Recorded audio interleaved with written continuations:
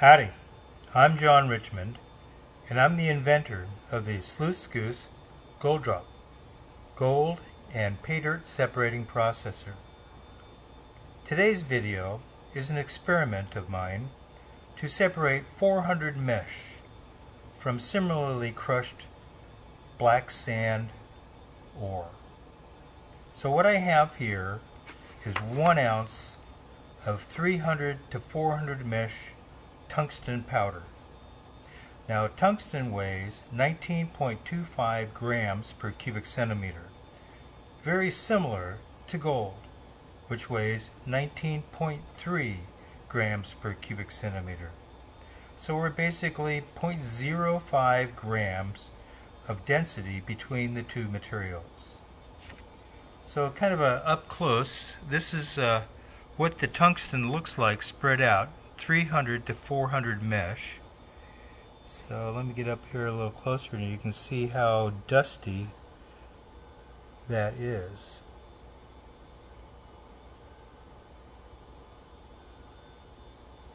Pretty small material.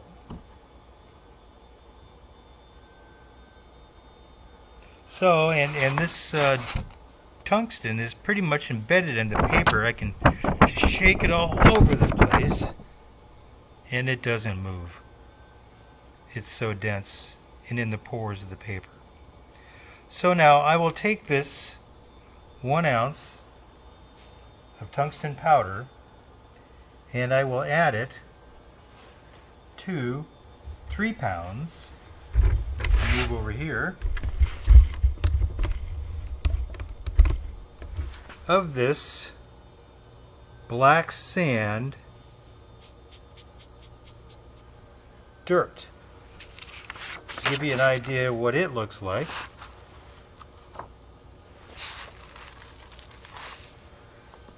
This is 200 to 500 mesh material. Very, very fine powder. And on top of that, this is black sand and just loaded with magnetite. Pretty dense with magnetic material, hematite. So, I'll uh, add this oops, tungsten powder to this dirt.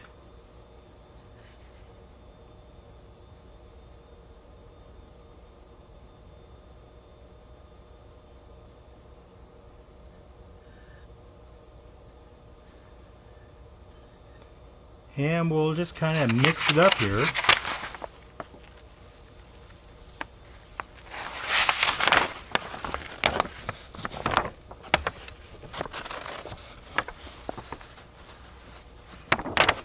And we'll process this material through the GOLDROP and see what 400 mesh tungsten drops into the jar.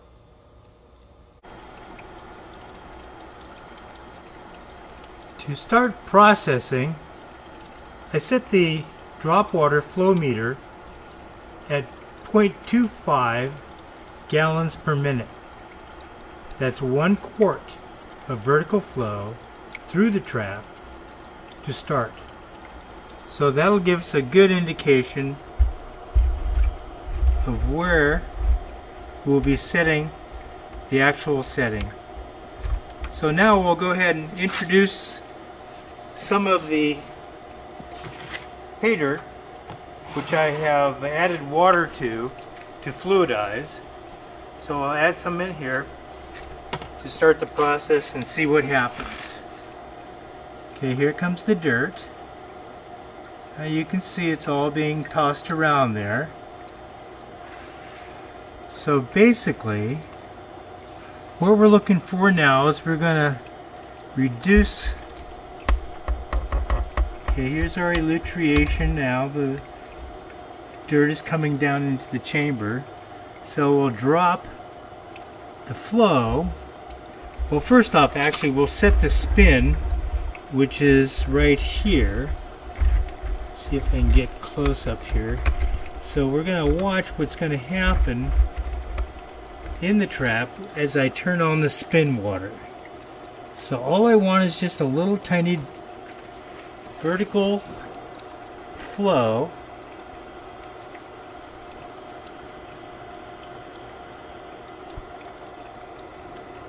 So you can see all the material has got a, a downward movement towards the aperture. So I'm going to back off a little bit just to kind of slow it down a little bit, just to have as little water flow in there as possible.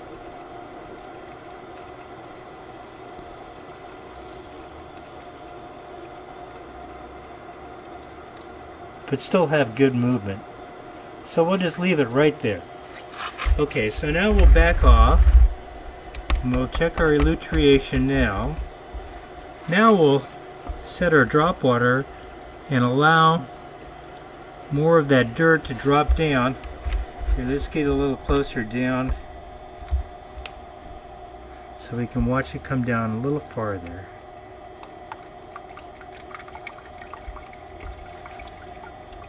There we go. I'm thinking that's about good. You can see there's where the water is coming in so we're getting to have the heavier material drop right down to where the water inlet is to the drop water. So that looks pretty good. So this now the final setting is just above 0.1 gallons a minute basically about a cup of water vertically flowing into the trap supporting the dirt. And that's the action that we have. So you can see we only put in a little amount of dirt so there isn't very much in the tube. You can actually see the feed tube still and all of the dirt is just basically down here gathered in the trap. That's how little material that I've added. So now that we got that set, we'll go ahead and start processing dirt through the funnel. We'll now begin to feed the material through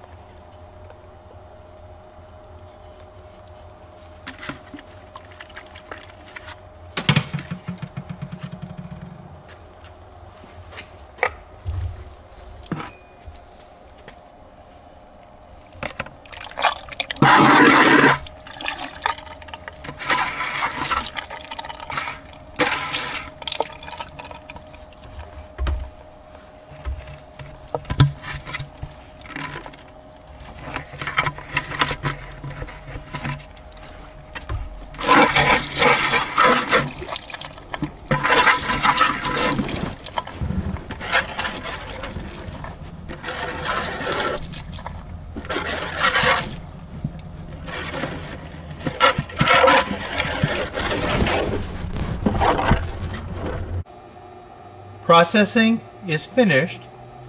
Now I have waited uh, five minutes for the entire trap contents to drop into the jar. So basically, the trap is empty, the column is empty, everything now is emptied into the jar. So now we'll find out what tungsten is in the jar.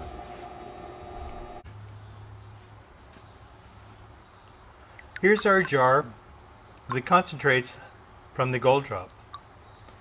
From three pounds down to a half a jar and let's see what's in it.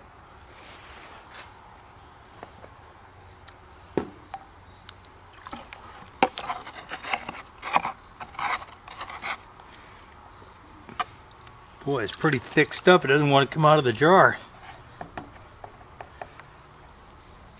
Ah, come on.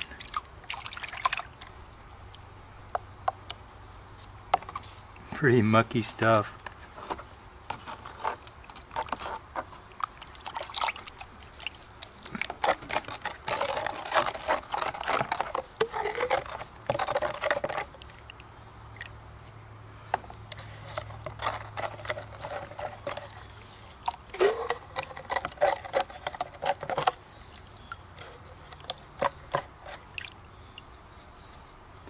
Here we go.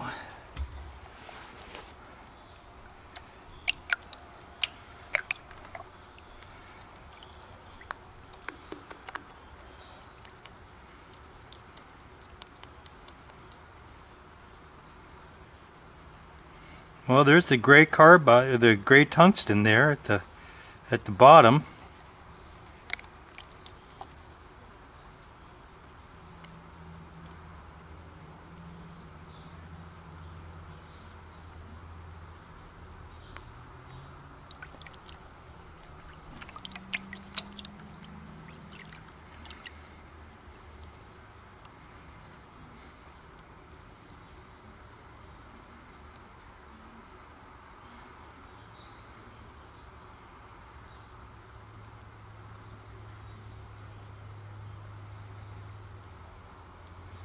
Well, there's the tungsten.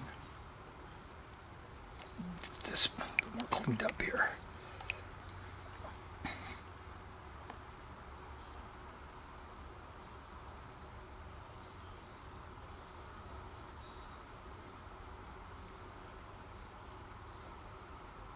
See, there's quite a bit there.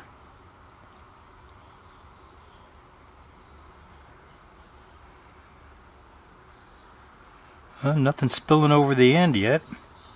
So we'll keep going with the black sand.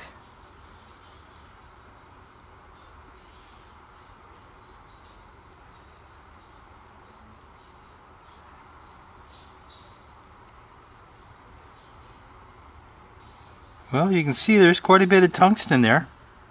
So now what I'll do is I'll go ahead and finish cleaning out the what little black sand is there.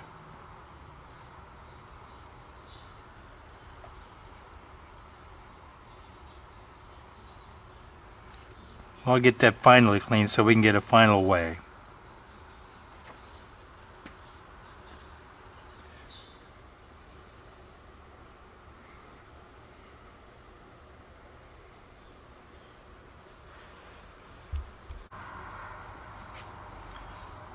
Okay, the tungsten's all dry now, and it's been about 10 minutes since I've dried it, so the pan is, is cool enough to handle. So now we'll kind of scoop this off here.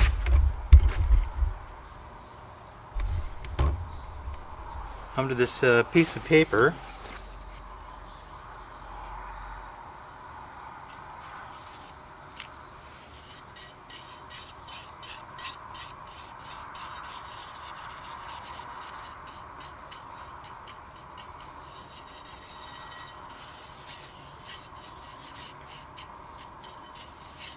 Okay. Make sure I get it all here. Okay. There is the tungsten that we recovered in the GOLDROP. It's pretty clean too. Let me get you up close to that.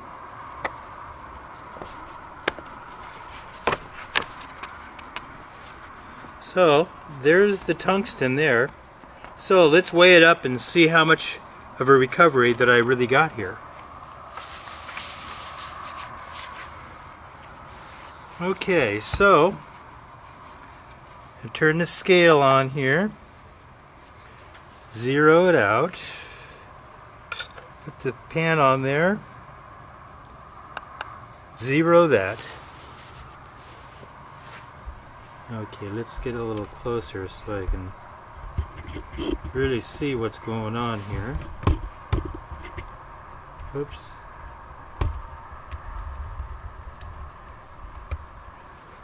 Well, that'll give you a good idea of what's happening.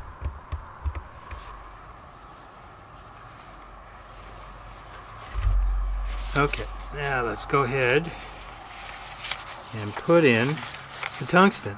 Now remember, we started with one ounce. So any number you see is actually going to be a percentage. So let's see what we got. 68% recovery 400 300 to 400 mesh tungsten out of 3 pounds of crushed black sand hematite ore. I would say that is a pretty good rate of recovery for 3 to 400 mesh. So, well, there you have it. 68% recovery of 3 to 400 mesh tungsten.